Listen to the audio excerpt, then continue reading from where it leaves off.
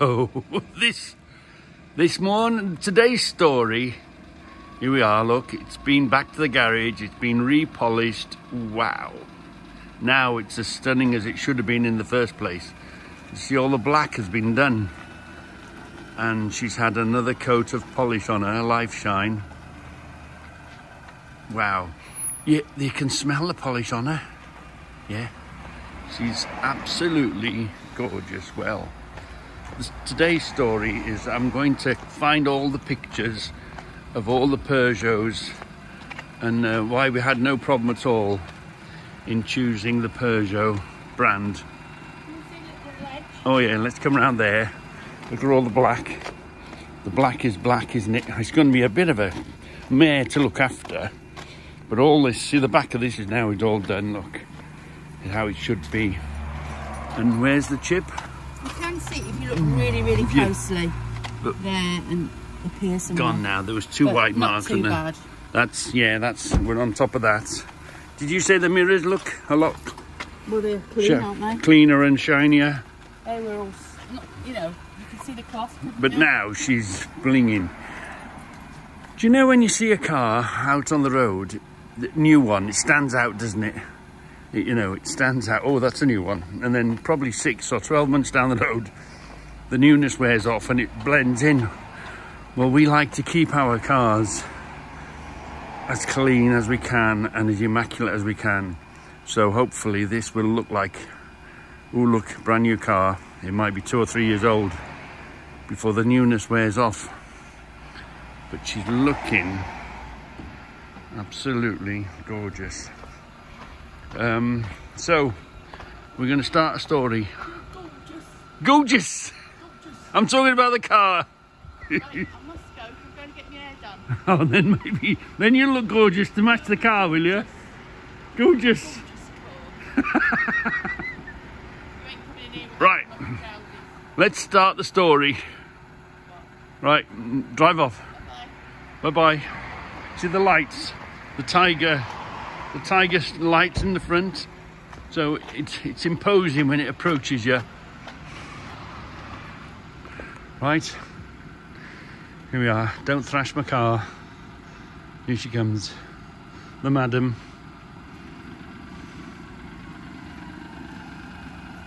Don't thrash my car. That's officially mine. Don't thrash my car.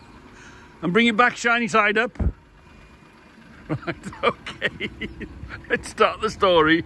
In the beginning, we were muck shifters, earth movers, Tonka toys. Um, used to go all over the country. Wherever the machines went, we went.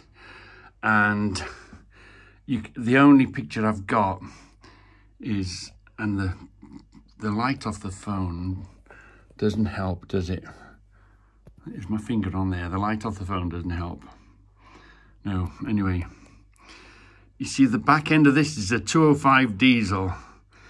Now, this was the caravan. This is the Izzy. We'll come to a little story with the Izzy in a minute. You'll see them in the front garden in a minute. Um, and there's the caravan. There's the bike, um, CB750, I think it was, an F2. And there's the bike trailer. So Debbie, I had the Izzy and was pulling the caravan. And Debbie had the generator car. Oh, is that better? Yeah. Debbie, you can just see the back of a little 205 Peugeot diesel. Of course it was diesel, we were on the muck shifting, we never... This Izzy did 160,000, never paid for any fuel. It all came out of the machines, all running on red then days.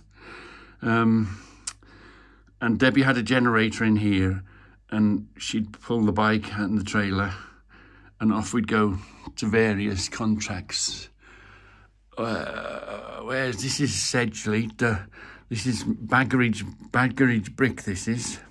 And look, Duke is with us. Duke is with us everywhere. Where's Duke in the doorway? Duke is in the doorway somewhere asleep. Um, here he is, look. There's Duke in the doorway asleep in the machines. he used to come everywhere with us. Um, oh, there is, where's, um, up north, we're on a job up north somewhere as well. This is, mm, it'll come back to me now. Down the A1. Biggleswade. Yeah, this is Biggleswade. This is opening up a quarry in Biggleswade. Uh, where else are we? We're a few. Here's Debbie, look. In the blade. Yeah. Cavey. Where's Cavey? Cavey.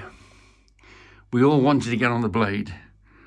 And just to annoy us all, Cavey put uh, Cavey put um, Debbie in the blade, taught Debbie how to drive the blade, a Komatsu. Uh, here he is, look, there's Duke in the back of the machine in a loading shovel. Yeah, and here's M from Wales. Yeah, so anyway, that's that story. Fixing the, there's a there's a track through Baggeridge Brick um, you go from Baggeridge Brick through Baggeridge Park, past the golf course, over the, what was the tip? You, you've heard of um, the Crooked House. Well, go past the Crooked House and there's a hole there. We used to fetch the clay from there up to the brickworks.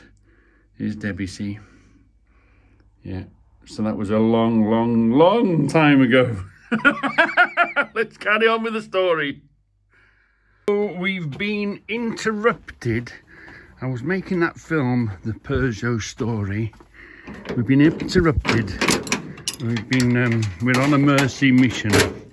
So the only thing that I know where everything is for sure is my breakdown kit. So we need two jump leads because the car's facing the wrong way. So we might not be able to get to the front of it. So we need two sets of jump leads. Yeah, which we've got. So hopefully we can stretch it down the side of the car um, if that's possible or get to it from another angle. So there's the two sets of jump leads and we need a rope just in case we decide we're going to tug it out. So we've got a good rope and we've got the shackles ready at the end of the rope ready to pull the car out. So we don't have to be making knots or nothing so I think that'll do today. So that's all we need. Um, we're not sure. We're going to get a car. It's been stood a while not very long a week or so but the alarm was going on it. So we suspect the battery might be flat or um, so it might run it might not but anyway let's um, let's do this little mercy mission we're on. So we're going to use the diesel. You know, slowly getting under my skin. I'm slowly beginning to like it. Um, no wonder the last owner owned it for nine years and keeps telling me off when I call, keep calling in names. Well, anyway, the diesel's going to do, can you imagine crossing the wires on Big Blue? Oh my God, that would cost, wouldn't it? uh, if it would survive it. So anyway, uh, you blow the brains, you blow the computers. How many computers are in that? Pure Peugeot. Anyway, let's uh, let's take this one. Let's do a, a mercy wishing with her. And um, slowly going under my skill. This is, we were discussing this the other day. Is this a future classic? Is this a future classic? It's at the bottom of its value. It's got to be at the bottom of its value now, hasn't it? It's a titanium, top of the range thing. It's got no many big dinks, banks and bumps. And um, what I'm trying to say to you is, wouldn't you like to have a Mark 1 estate car now? And what would that be worth? Wow. Or even a Mark II Escort estate. You'd like that, wouldn't you? Is this going to make it? Is this actual car going to become a future classic? if we keep it and look after it. And is this now the time to buy these Focuses? Find the best you can find and hang on to them because from here on upwards, from here on, it can only go up in value, can't it? It's a titanium, it's got alloy wheels, it's got lots of things, automatic lights, um, keyless entry, it's got lots of the modern things. It's not as old as you think, really. It, I think looking at it now, it was ahead of its time. There was a few things in this that was way ahead um, in things that it had. Hmm. Anyway, we'll do a full review of this. Let's uh, let's go and do this mercy mission first. You know when The, the price you pay for getting getting rescued by Reg on the road is you gotta be on YouTube, you bar. that, that is my payment for today. Your boss, you bar steward. Let's see. Will it run? Will it run? What you got that French rubbish for? I'd never buy a French car. I'd never buy a French car. Bloody foreign rubbish. oh, it flashed. Maybe. Oh, maybe. Stand back for the smoke. Stand back for the smoke. It should do. Oh, it's going to run. Hey! Uh, never- You're on Reggie on the road. Again. Again. The road. Start again. Up the wolves. Yeah, Up the wolves. After that little distraction, the breakdown gear is back. The rope and the jump leads are back where we know where they are. So we always know where our breakdown equipment is in our garage. So let's finish the um, story of the 205. This is the front of the house. Um, there's the Izzy, the Isuzu Trooper, the first ones. what year? I don't know. I think that was G-Reg. And it was a few years old and here's a little Peugeot. And the reason I show you this film is here's the little Peugeot bomb proof but um, this is the the first sort of CCTV we had.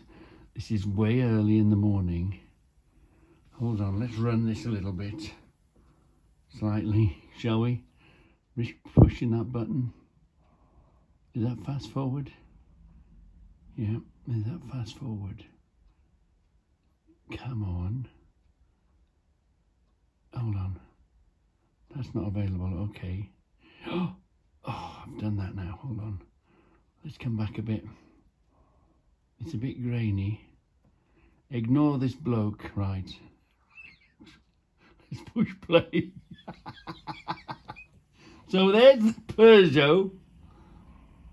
Come on, is this going to play? Yeah. Right, so is that running now? Oh, it's running now, I think. Yeah, hold on. Hold on, it's worth a laugh. It's worth a laugh. Times two. All right, times two. Ignore right hold on. So you're all familiar with the house now aren't you? Are we going to run that for oh ignore the bloke running with just his pants and his boots on trying to rescue the horse. Hmm. I don't know who was more scared me or the horse. Anyway have we got a year we haven't got a year here Oh, well, I better go and put some clothes on. I just heard them coming down the side, so I threw on my boots. Stop, horse. I'm, my horseman skills aren't very good, are they? No. And um, thank goodness there was no one driving by. They would have scared them. They think they'd seen a ghost. Basically, just ran out, grabbed my boots, and ran out there. I heard them coming down, jumped out of bed. So, yeah. I suppose I better go back and put some clothes on then, better I? you do things instinctively, don't you? It's going to be a job to catch. So the next Peugeot was this Peugeot, and you recognise this as being now the Goldwyn garage. So let's uh, watch that for a minute. Debbie's little garage. Yeah, Debbie's little garage. We um, we are. So you sort of recognise this doorway and that window now, don't you? And this was Debbie's little garage when we had the little yellow. I think it was a 107. There was nothing in here. It was just plain garage. and how this came about. What came first, the horse or the car, the chicken or the egg, the car or the garage? Well, in our case, Debbie's little car came first. So this is where Debbie used to keep her car. There was nothing here, just purely her car. Um, and the deal, I said to Debbie, can we build an extension on the garage? You can have the first front bit here, and I'll have the back bit for my nuts and bolts, nuts and bolts store. So that's why this is this size. This is the right size to put a little Peugeot uh, 107, is it? Yeah, 10 little little yellow Peugeot, Debbie's first brand new car. Um, we'd been obviously we I had cars Debbie always had we've always had two cars. Debbie's always had the second class car as you might say. Um, the wife's car. Anyway I, I, I don't think we only paid about six grand for the thing. Brand new. It was the cheapest new car that I could find for her um, it had wind up windows yeah I used to used to ring her up when I had my air conditioning and I'd say, uh, Debbie, Debbie, Debbie, um, I've got an important decision to make. And I knew she was in traffic and she was winding her window up and down. And she didn't have aircon, nothing like that in it. And uh, I've got an important decision to make. Oh, yeah. And I need your advice on it. Hmm, yeah, she'd go. And I go, uh, shall I put my aircon on three or shall I put my aircon on four? and I knew she didn't have any. And she was sweating in the summer in her little car. Yeah, the, the little yellow car. So let's just. So this is this was built for Debbie's car, Debbie's garage. That's why it's this, this small, because I'm going to show you the other side of the. Uh, you probably know about it, but the, I'm going to show you the other side of this wall, the other side of this building.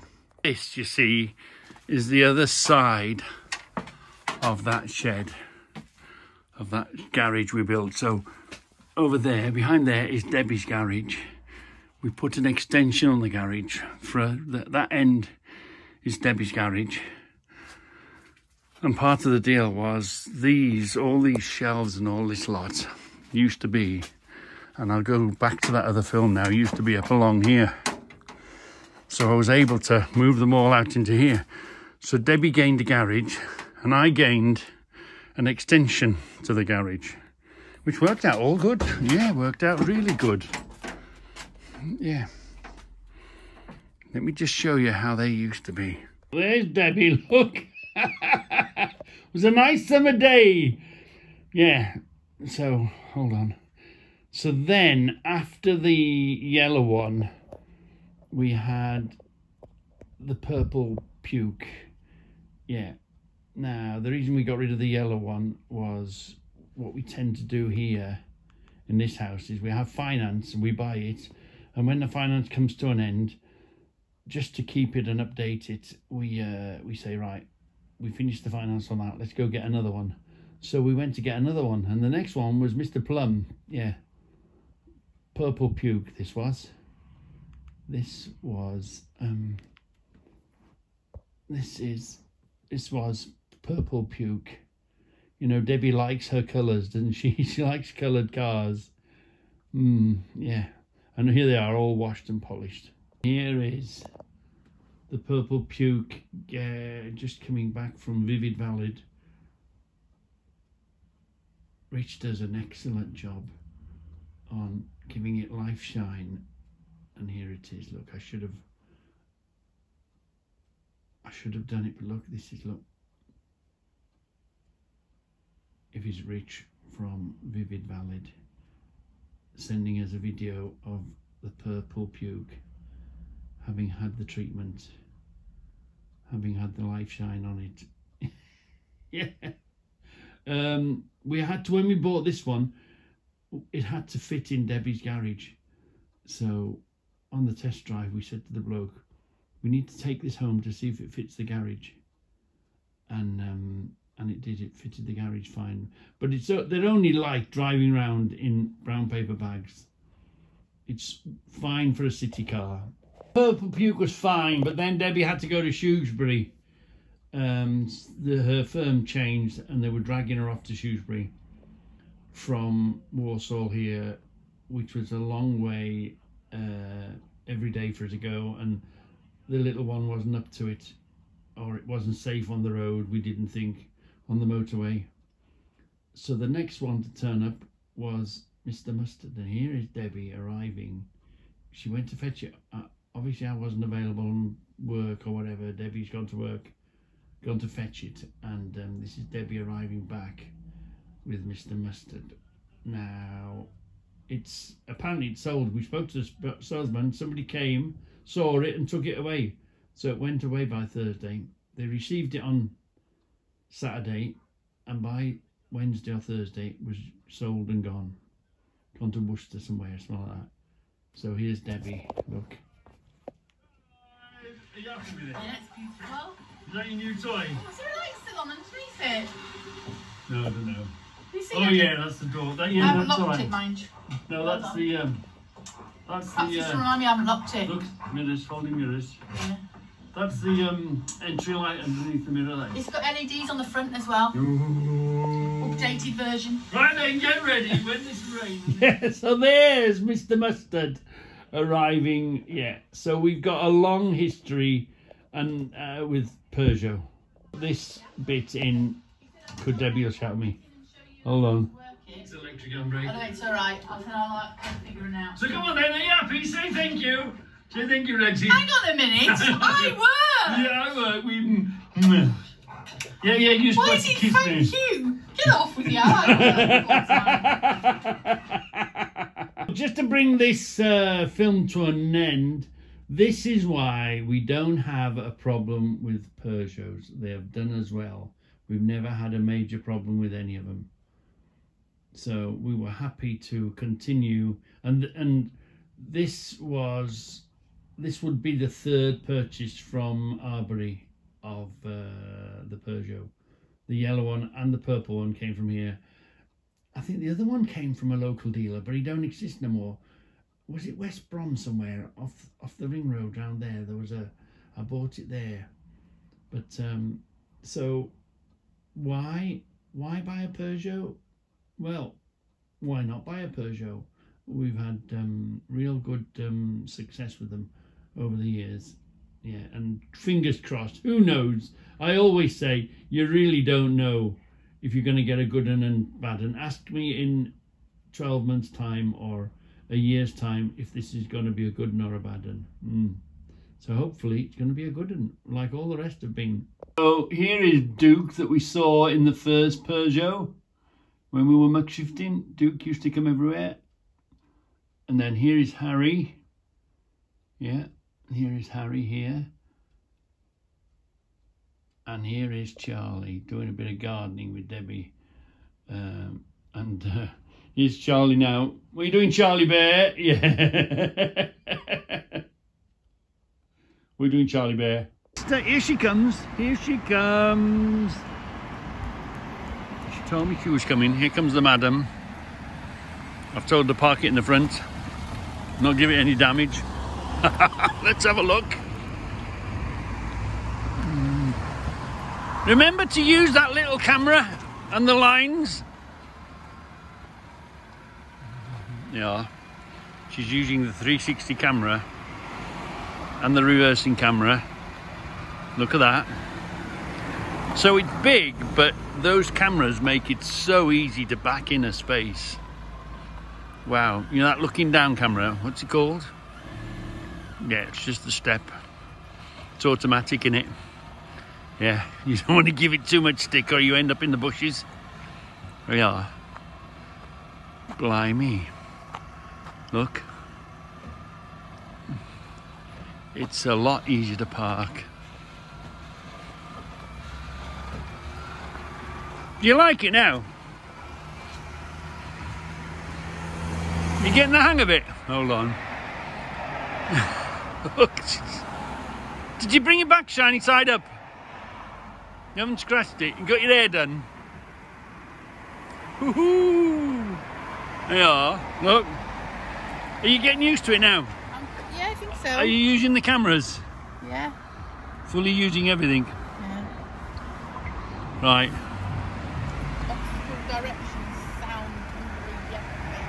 Okay. So yeah. Oh, What? crystal clear exterior varnish. Is it going to be, is winter coming? Is this for the gnomes? You're going to do some gnome painting, are you? Possibly.